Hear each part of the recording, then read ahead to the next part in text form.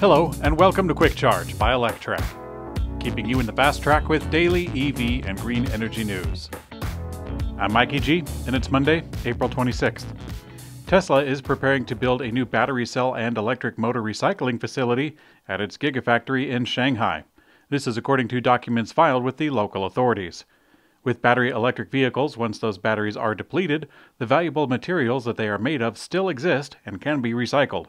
In 2019, Tesla announced that it is developing a unique battery recycling system to recover critical minerals used in battery packs. Tesla's Gigafactory Shanghai is rapidly becoming one of the biggest EV factories in the world, and now we learn that Tesla is adding recycling to the project. The same government files also show documents that Tesla is adding more manufacturing capacity at the plant, although the details were sparse. Tesla is starting to offer free power walls to people who have received big price increases on solar roof projects that were already under contract. Last month, we reported that Tesla is drastically increasing the price of its solar roof tiles by as much as 50% based on extremely inconsistent new complexity factor that they have added.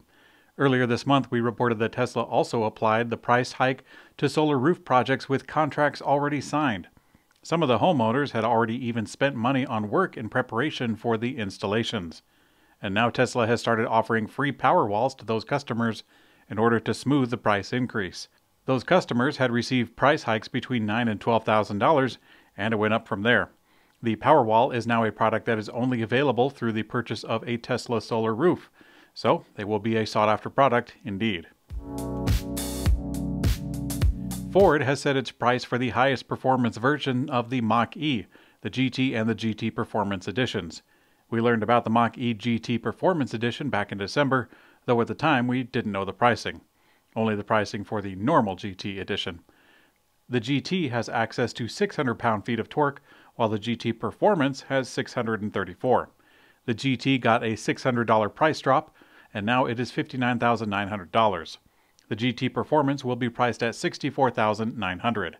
The Performance also comes with Pirelli summer tires for enhanced grip and MagneRide suspension. Rimac has released a very impressive video of its Concept 2 electric hypercar competing in a quarter mile drag race in only 8.9 seconds. The electric vehicle company is best known for its all electric hypercars, especially the Concept 1, arguably the first all electric hypercar, and most recently the new Concept 2. Last summer, Porsche announced that it was investing in Rimac for a minority stake, and they have since been working together on electric vehicles for the Porsche brand.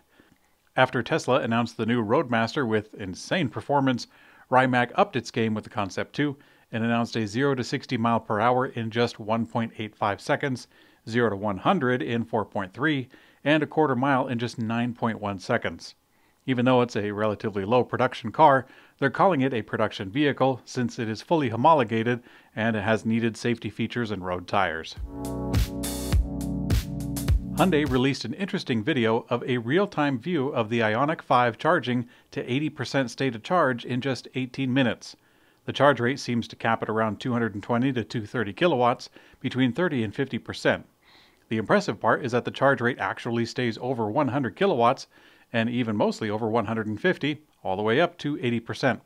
It would be interesting to see what kind of charge rate it can maintain up to 100% state of charge, which does happen for drivers who are going on long distance trips. But the 10 to 80% is more representative of an actual charging session. With just 18 minutes, we're talking about a very reasonable time to wait on a trip. Hyundai said that the Ioniq 5 will be available in selected regions starting in the first half of 2021. However, they have not confirmed a price yet. Electrek takes a look at some of the current deals for new electric vehicle sales. Nissan more than doubled their cashback on 2021 Leaf, which grew from 3,000 to 7,500 for April. The remaining 2020 models get a 25% bump, now at 8,500, and choosing a Leaf with SV or SV Plus trim with the technology package will get you an additional $1,000 rebate. Hence, there are actually more Nissan dealers offering five figure discounts across all Leaf trim levels. We also found a Jaguar I-Pace with a $16,000 dealer discount mentioned in their leasing ad. Combine this with the discount of Jaguar's 7000 cash incentive on the purchase of a clean fuel vehicle, and $1,500 tallies up to $25,500 off the MSRP for a 2020 model year. Hyundai dealers on both coasts have increased their dealer discounts on remaining 2020 Ioniq inventory in top of the line limited trim.